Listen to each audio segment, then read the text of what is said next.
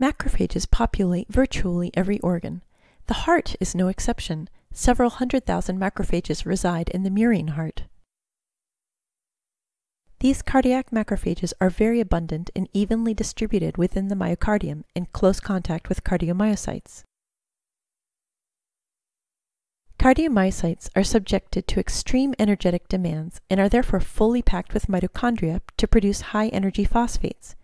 Eventually, these and other organelles get worn out and need to be disposed of and replaced. The damaged material is typically degraded inside the cell through the process of autophagy. We show that a large fraction of this damaged material is not recycled within the cardiomyocytes, but rather expelled via particles called exophores. These exophores are formed using the autophagy machinery of the cardiomyocyte. Cardiac exophores expose phosphatidylserine in their membranes, which is recognized by macrophages through the phagocytic receptor MERTK, allowing exophore uptake. When cardiac macrophages internalize exophores, their content is rapidly degraded.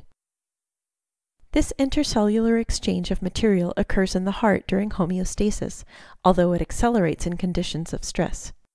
When cardiac macrophages or MERTK are depleted in the murine heart, Exophore elimination is inefficient and mitochondria accumulate in the extracellular milieu.